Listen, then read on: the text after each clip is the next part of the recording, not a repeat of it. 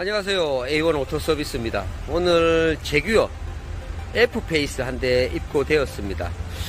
F-PACE는 재규어에서 처음으로 만드는 SUV 차량인데요. 음, 앞쪽에 이렇게 front 보시면 딱 재규어입니다. 재규어에서 만들어내는 그 앞모습이에요. 키만 조금 컸을 뿐이지 똑같은 것 같아요. 우리 차는 조수석 앞범퍼 쪽에 front 범퍼 쪽에 손상이 조금 있어서 입고 되었는데요.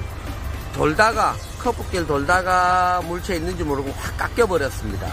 그래서 이 차주님께서는 여러 군데 알아보시다가 어떤 업체는 범퍼를 탈거를 다 해서 전체적으로 도색을 다 해야 된다. 어떤 업체는 부분적으로 작업을 해야 된다. 이래 이렇게 말이 많았는데요. 음, 저희 업체는 실수로 보통 이렇게 사고가 나면은 부분적으로 수리하는 것을 추천을 드립니다. 어, 반대쪽에 이렇게 보시면 반대쪽도 이런 자리들이 손상이 있다라고 하면은 범퍼를 탈거해서 전체적으로 도색을 다 하는 걸 추천드리지만 한쪽 면만 있으면은 부분적으로 작업하라고 얘기합니다. 왜? 어, 멀쩡한 생사를 깎아서 새로 도색하는 거는 그렇게 좋게 좋다라고 얘기하기가 어렵습니다.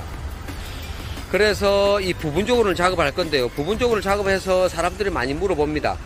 표시가 나지 않습니까? 색상이 같아질까요? 색상이 틀리다라고 하면은 출고를 하지 못하죠. 저희가.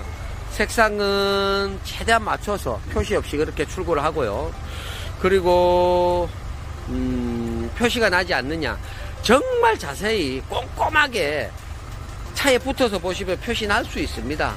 하지만 그런 게 아닌 케이스 같으면은 범퍼는 특히 front 범퍼는 돌빵도 맞고 달리면서 우리가 수리가 이렇게 들어오면은 대부분 다 범퍼가 관련되어 있는 수리가 엄청 많아요.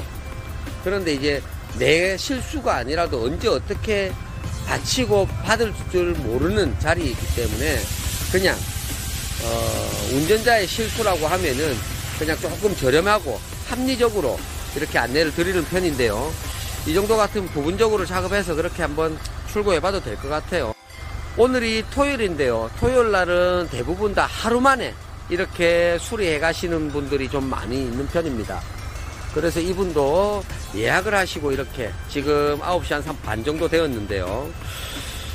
어, 바로 부스 비워놨기 때문에 부스로 들어가서 부분적으로 작업해서 오늘 한 2시, 3시 정도쯤에 출고할 수 있도록 그렇게 예약이 다 되어 있습니다. 깔끔하게 부분적으로 작업해 보겠습니다. 제규어 부분 도색 이렇게 면 처리는 다 되었고요. 면 처리는 깨끗하게 되었고 이제 부분 도색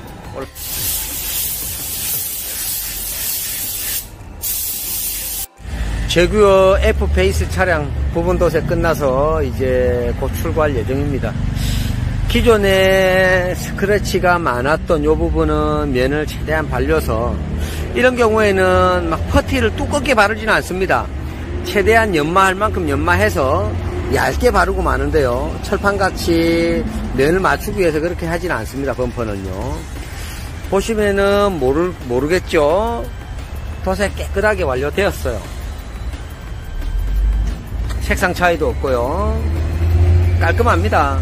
이렇게 이런 거는 예약을 하시고 오시면은 당일날 출고가 되기 때문에 그래 오랜 시간을 잡지 않습니다. 깨끗하게 수리 완료되어서 출고해 보겠습니다. 잘 되었죠?